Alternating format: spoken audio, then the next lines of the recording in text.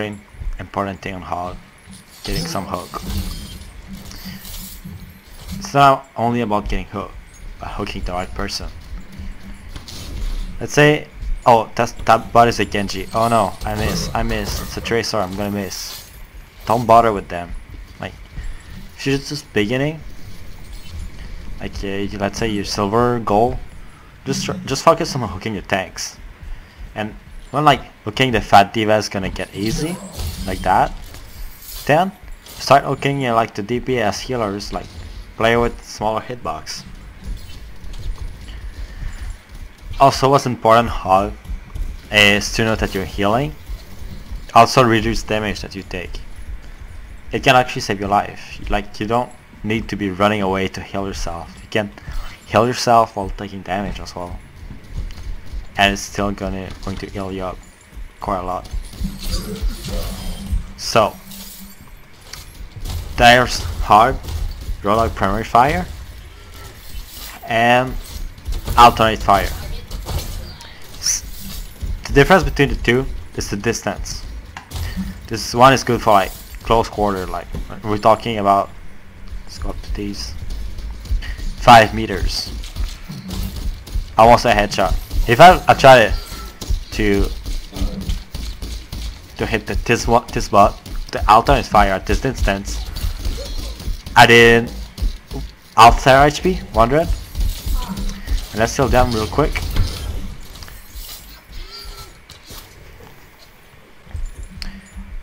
So that's a big difference to know the, the best distance. You don't want to aim for the head because if you aim for the head, off your shot, see, off of my shot, like two, three, four shot went above his head. So what you gotta want to do is actually aim for the neck, and then I killed him. One shot miss out of all those. One shot miss. I'm send this same distance, aiming for neck, I think here, three shot miss, I'm not sure.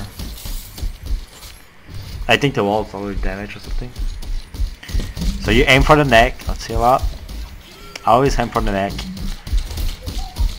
The guy is 1 HP. Aim for the neck, check the distance.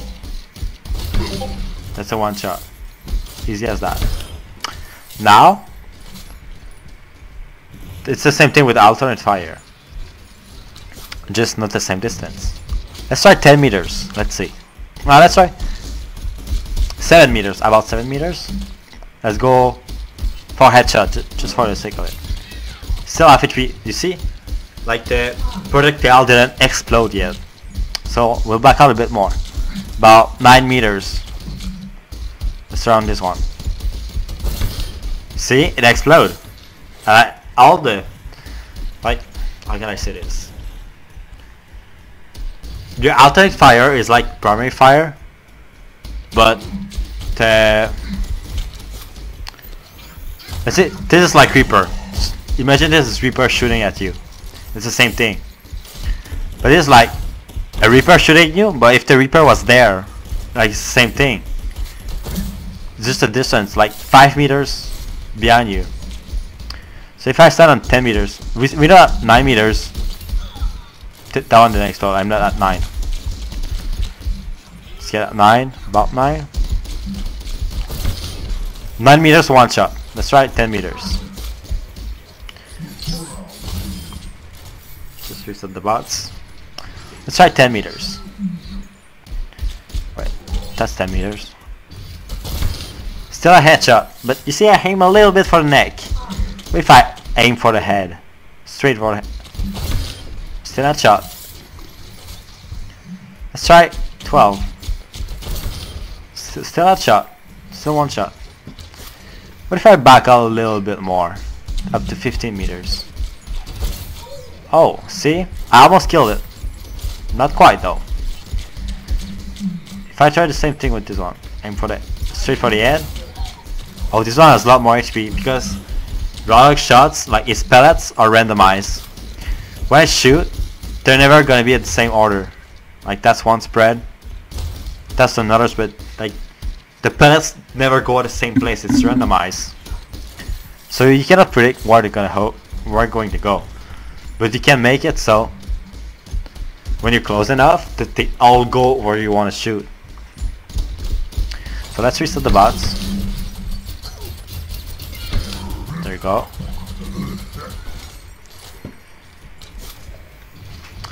So I'm at 15 meters. Earlier I didn't kill the, the bots in one shot. If I aim for the neck, feels bad.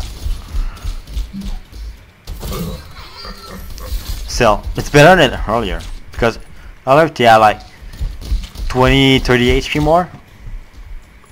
This is at like 14. So I say the sweet spot is at like for alternate fire is like 14, 30 meters. About this instance, that's well in the hook range. So when you can hook someone, that means you should be using the alternate fire, always. But if you're close, you don't bother hooking them unless it's like a small character like a Genji, Tracer, Fast and Agile. Like even like if there's McCree, you want to secure the kill before he use a flashbang on you. Just hook him, headshot, punch, he's dead. But what, like you want to be hooking around that distance when you know that your alternate fire is gonna explode against the wall. See? Like, what I'm not to tell when it's gonna explode. Now it didn't explode. Now it just did. Like, you see the circle is very small. Back out a bit more, a bit bigger. But if I back out a lot, see, I did no damage on the bots because the shots went everywhere and there's fall of damage. Which, like, that means you just gotta get closer. So with Hog, that's a small trick you can do hook people, then you turn around. So you'll be they'll be drop. How can I say this? Mm, yeah. You hook someone. When the hook like hands, they'll they'll drop right the like while you were like in front of you, about like two meters in front of you. But if I hook them and turn around, that was actually weird. Yeah, that was actually weird because he went behind me. But you see, like when you hooked him, he was there, but then he went there, about there. So let's say this is a team fight. There's three teams ahead of you, like right there, and this is our team.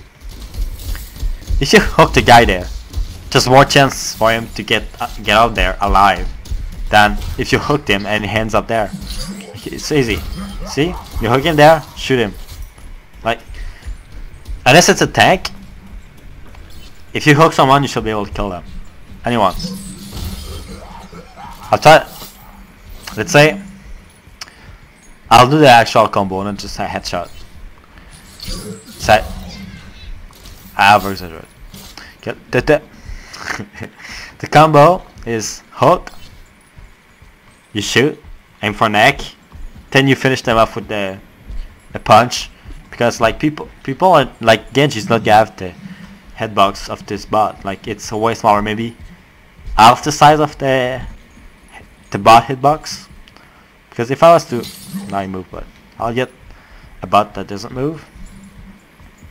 And you can see how the hitbox is bigger than the actual character size I'm gonna shoot here see I hit a headshot and more than one pellet hit see I'm not even seeing the character outline.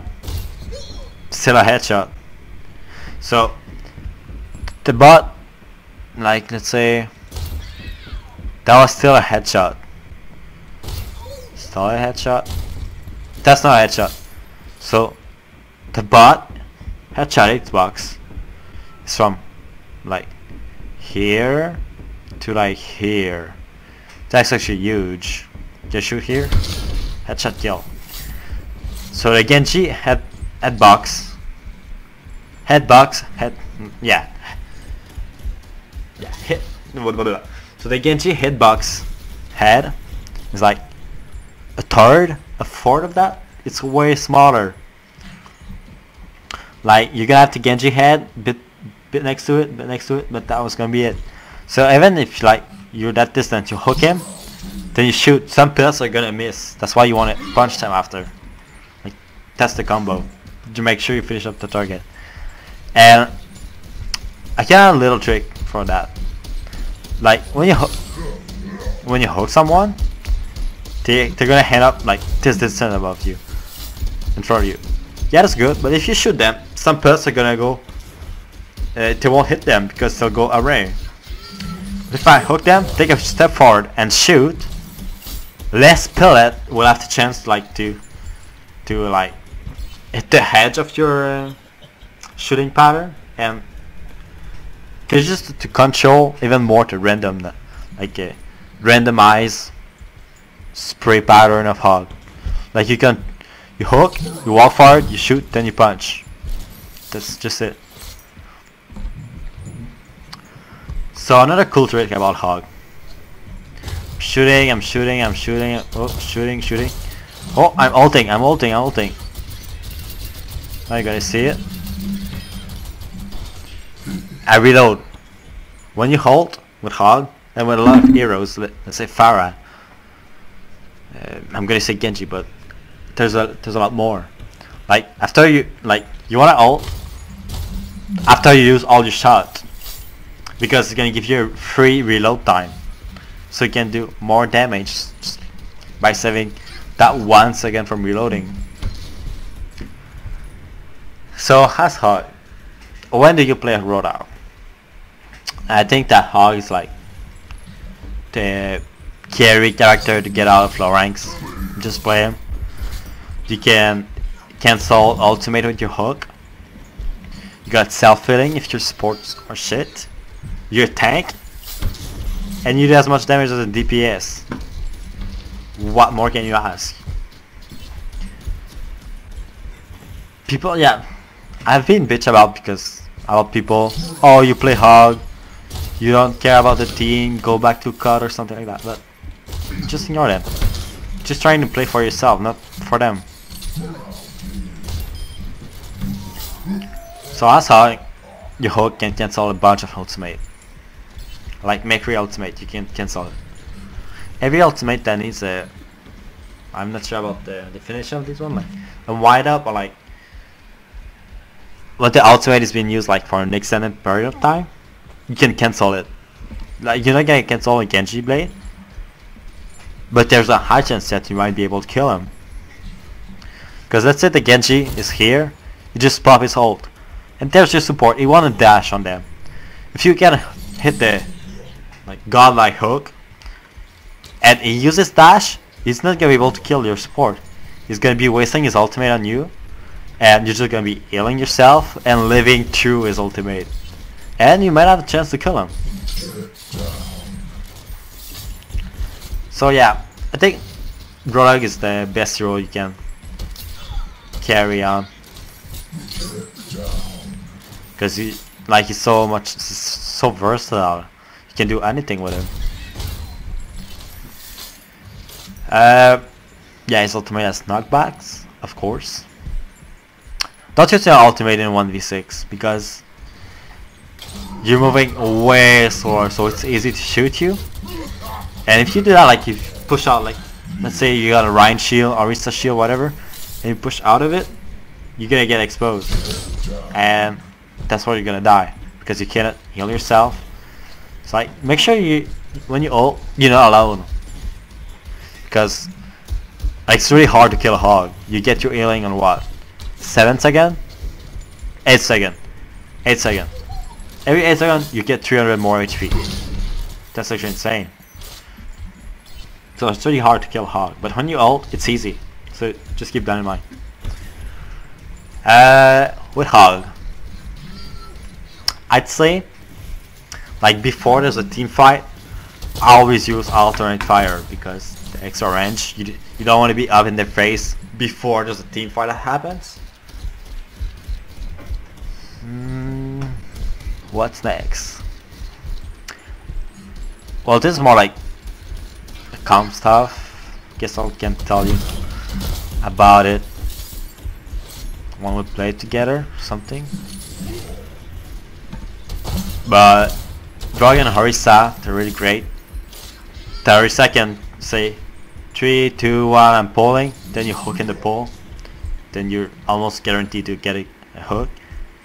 And because your Orisa's there, and your team knows that you're doing the hook, the pull and hook combo, like that person's gonna die, unless it's like a D.Va. So Hog works really great against dive.